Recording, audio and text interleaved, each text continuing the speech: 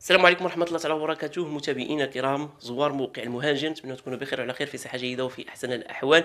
مرحبا بكم معنا في هذا الفيديو الاستثنائي الخاص بالانتخابات في كاتالونيا.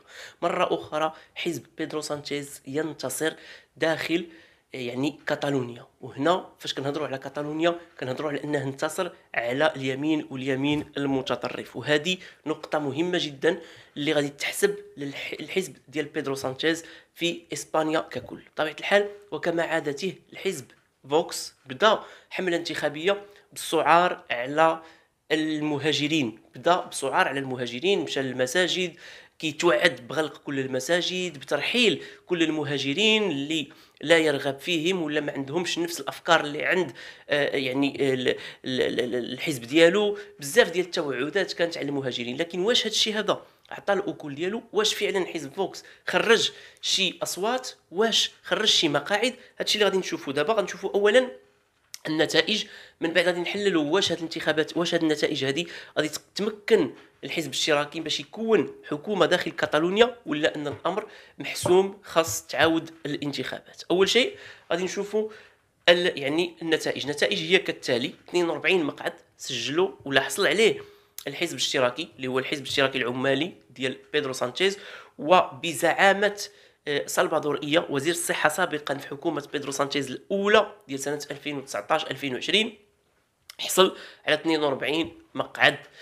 35 مقعد حصل عليها الحزب جونس بير كاتالونيا. جونس بير كاتالونيا باختصار هو من حزب حزب يعني انفصالي محض 100% 20 مقعد حصل عليها حزب آه، اسكيرا ريبوبليكانا اللي كان كيحكم سابقا. للعلم. راه حتى في الانتخابات السابقة ديال 2021 ما كانتش الأغلبية عند هاد الأحزاب الانفصالية. والحزب ديال بيدرو سانشيز بقيادة سلفادور ايا غلبهم في الانتخابات غير هما تحالفوا عليه وقدروا يشكلوا الحكومة بقيادة اسكيرا ريبوبليكانا. الأحزاب الانفصالية قدرت تشكل الحكومة بقياده اسكيرا ريبوبليكانا. كيجي موراه كما قلنا اسكيرا ريبوبليكانا ب 20 مقعد يعني طاح بواحد الشكل كبير.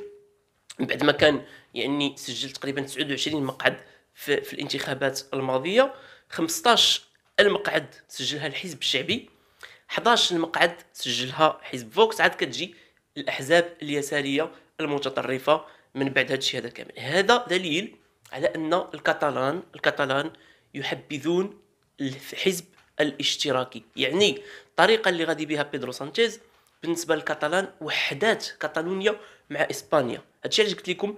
هذه نقطة تحسب لبيدرو سانشيز. رغم يعني اتهامه بالتواطؤ مع الانفصاليين في كاتالونيا رغم يعني هاد هاد هاد الشيء كامل اللي داروه ضد بيدرو سانشيز هاد الحملات الشرسة المسعورة اللي كانت ضد بيدرو سانشيز باش يشوهوا الصورة ديالو داخل إسبانيا إلا أنه قدر يتفوق أنه يوحد كاتالونيا مع إسبانيا. شنو هو المشكل؟ المشكل هو أن في الوقت المشكل شكون داروا دارتو داروا اليمين يمين الإسباني. فاش كانت حزب حكم الحزب ديال ديال ديال الحزب الشعبي بالقيادة ديال ديال ماريانو راخوي في ذاك الوقت هذاك تماك بدات النزعة الانفصالية في كاتالونيا. علاش؟ لأن كثرت ما فرض قوانين كيرفضوها الكاتالان. قوانين كانت ضد حقوق الإنسان.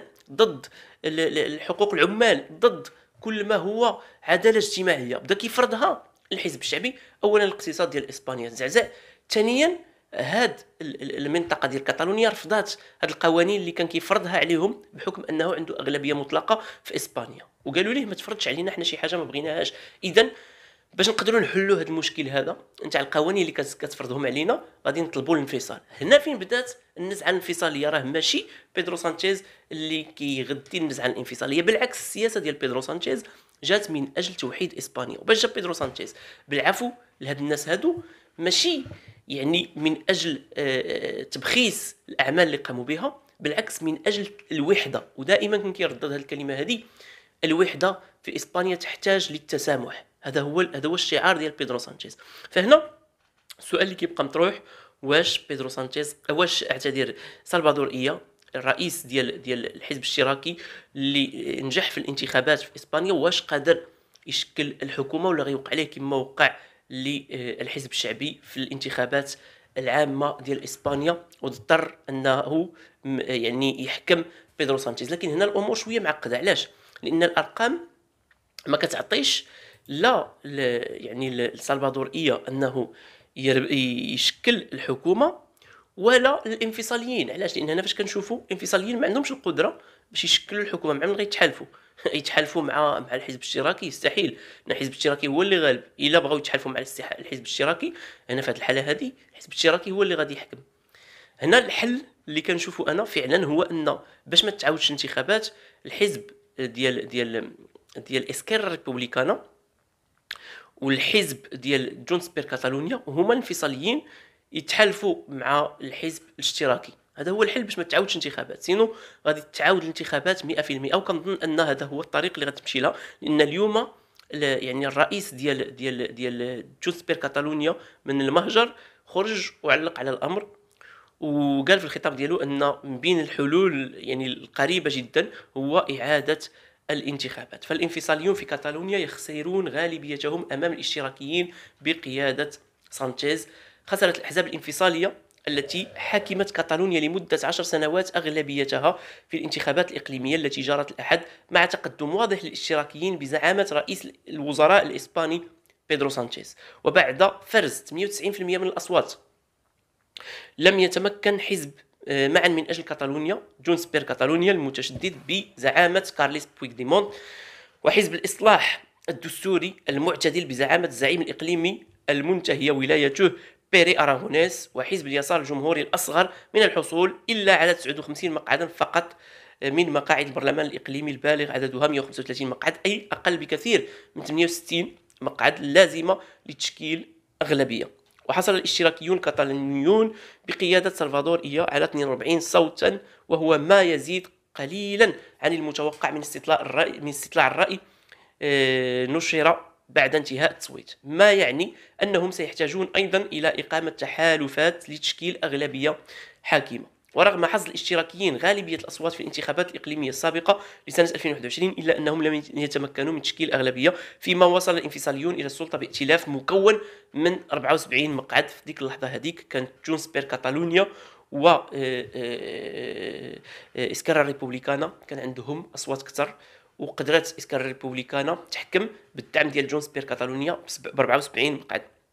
ونجح الاشتراكيون بزعامة رئيس الوزراء بيدرو سانشيز في إظهار تراجع المشاعر الانفصالية. هذه النقطة اللي خدم عليها بيدرو سانشيز منذ صعوده للحكم في إسبانيا. هو تراجع المشاعر الانفصالية في كاتالونيا. وهذا الشيء هذا فين كيترجم؟ كيترجم في صناديق الاقتراع من بعد عشرات السنوات ديال السيطرة على صناديق الاقتراع من طرف الأحزاب الانفصالية غادي يجي يحطم هذا الشيء هذا كامل بيدرو سانشيز باش بالسياسة ديالو ديال التعايش وديال آه، رفض الكراهية وعدة أمور. وزير الصحة السابق خلال جائحة كوفيد سيتعين عليه العثور على شركاء لتشكيل أغلبية وهو ما عجز عنه سنة 2021 والفرضية التي يرجحها المحللون في التح... هي التحالف مع اليسار الراديكالي الذي يحكمون معه على المستوى الوطني ومع الحزب الأكثر اعتدالا بين الانفصاليين الذي خسر الكثير من المقاعد آه، في هذه الانتخابات. لنفرض Junts per Catalunya مبغاتش تحالف مع آه، آه، سلفادور إيلا. عنده 20 مقعد يعني ديال الحزب ديال Esquerra Republicana وعنده ستة ديال المقاعد ديال الحزب ديال آه، En Comú Podem ولا آه، سومار الحركة ديال سومار ما يسمى بسومار. هنا إلا قلنا 42 وال20 هي 62 وإلا زدنا لهم ستة هي 68 لاصقة. يعني بهذه الطريقة هذه يقدر يحكم إلا Junts per Catalunya عقدات الأمور وقدر يتحالف مع هذه الأحزاب اللي أصلا تحالف معاهم بيدرو سانشيز على المستوى الإسباني ككل. غادي تكون فرصة مهمة جدا. باش يقدر يحكم في كاتالونيا وإلا حكم في كاتالونيا. الحزب الاشتراكي كونوا على يقين أن الانتخابات المقبلة غادي يكتسح ويقدر يوصل الاغلبيه مطلقة. علاش؟ لأن الاستراتيجية اللي وضعها الحزب الاشتراكي حاليا في إسبانيا استراتيجية لإرضاء الجميع استراتيجية مهمة. وهذه المسألة هذه غادي تقدر تلعب حتى الاسبان الحزب الاشتراكي على المستوى الإسباني. فرغم كل يعني الرسائل ديال الكراهية اللي استعملوها الأحزاب اليمينية في كاتالونيا بوعود لطرد المهاجرين بوعود لغلق المساجد بوعود وعود وعود وعود كثيره للإسبان إلا أن الإسبان في كاتالونيا أظهروا أنهم يرفضون الكراهية يرفضون العنصرية. هذا هو الأساس وهذه هي الرسالة اللي كنظن أنها وصلتهم كما يجب. تحياتي لكم الاخوان كنشكركم على حسن المتابعة الاهتمام ديالكم على الدعم ديالكم المتواصل. لقناتنا. نشوفكم إن شاء الله فيديو أخر. وموضوع اخر تكونوا دائما في أحسن الأحوال. دمتم في رعاية الله. السلام عليكم.